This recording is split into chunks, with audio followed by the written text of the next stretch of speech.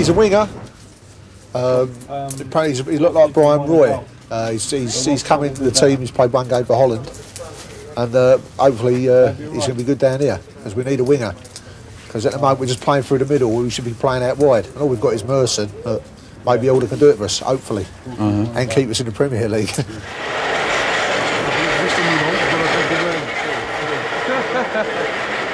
Must have a few good faces. I heard he's pretty tricky winger, pretty good, good player. And hope he does well if they do sign him. How's everything? Glenn, how are you, all right? First secretary. Hello, nice to meet you. Nice to meet you. Good. So, I'll just get, uh, well, well, let's go this way, huh? All right, perfect. Make it as difficult as you can. Reports in the papers over here suggested that he's decided to play for an English club because he had, apparently his head office to go to German clubs, but whenever he's played in Germany, he's got racial taunts from some of the German fans, and he's chosen to come to England because he's spoken to the likes of uh, Roy and people from Germany, uh, from Holland, and uh, they reckon it's okay to play in England. And if he is a fast, speedy winger, he'll be a big hit over here because the last decent winger we had was Limpar. Helder tegen Roy. Wanneer? 21 februari. Glenn Helder playing Brian Roy. De 24th of February. Nou, daar weet je nu nog niks van. Dat bepaal ik natuurlijk zo meteen. Ja. Ga niet... eh. Nou, laten we maar vanuit gaan dat die wedstrijd doorgaat. Hallo, Steve. Thank you.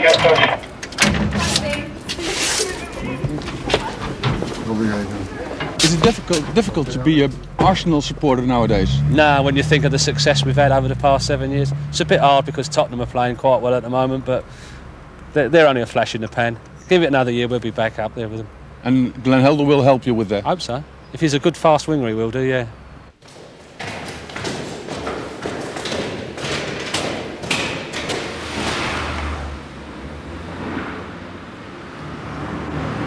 Okay.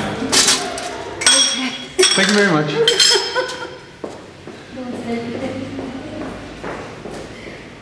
Is that the contract for Glenn Helder? No, no, it's a it's a fax to um, Switzerland. So people want some tickets. Nothing as exciting as that, I'm afraid. Mr. Graham, you have to talk with Glenn Helder. How are you doing so far? Still negotiating. Still negotiating. How does it look? I don't know. You don't know. No. We'll tell you a little bit later. Okay. Okay? Thank you.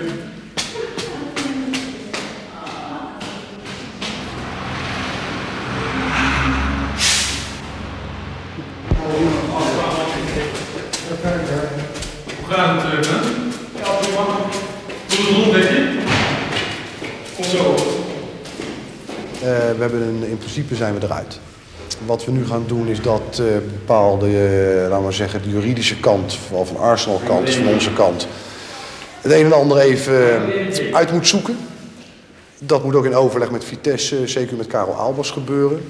En dat we dan binnen ja, één of twee dagen dat we de zaak kunnen sluiten. I bought him because he's very direct, uh, very quick, uh, gets, uh, gets lots of crosses in, uh, and that's important in England. England will like getting down, uh, wingers getting down the wing and putting lots of crosses in. Is het een flinke positieverbetering voor jou? Ja, ik denk het wel.